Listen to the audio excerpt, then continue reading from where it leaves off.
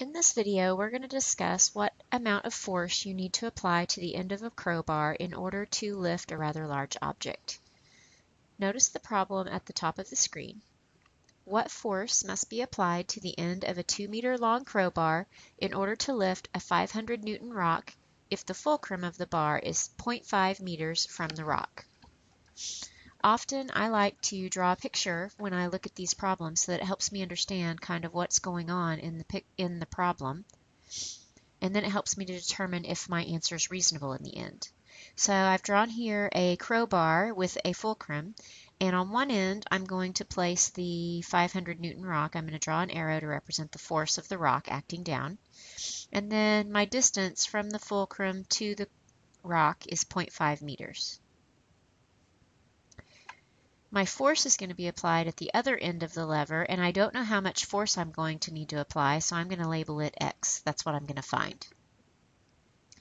If the whole length of the crowbar is 2 meters, and the distance from the rock to the fulcrum is half a meter, then that leaves the distance from the fulcrum to the force being applied to be 1.5 meters.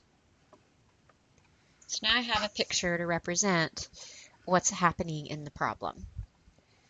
We've learned that the work of the input force has to equal the amount of work done in the output force. And the formula for work is force times distance.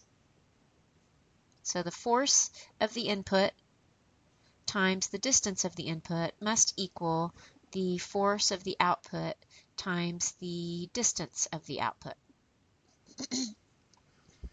now we just need to substitute values. My input force represents how much I'm going to exert on the crowbar to lift the rock. So I don't know that force, so I'm going to put in an X. Then I'm going to use a dot for time so I don't get confused.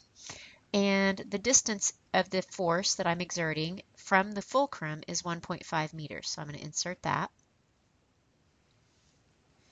The force out would be the output force, which is the rock that we're going to try to move. It is 500 newtons times the distance out, the distance from the output force to the fulcrum is 0.5 meters. So if I multiply these, I get 1.5x meters equals 250 newton meters, because the newtons times meters. Now, in order to figure out my output force, which is x, or my input force, I'm sorry, I said the wrong thing, my input force x, I need to divide by 1.5 meters.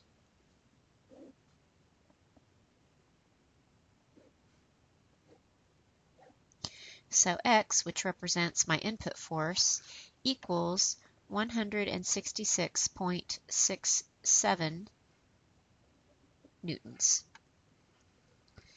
Again, if we're discussing significant figures, we have one significant figure. So if you're doing significant figures, then your answer would be 200 newtons. But I am not a big fan of the significant figures because that's a lot of rounding for me. So I would like to see two places after the decimal.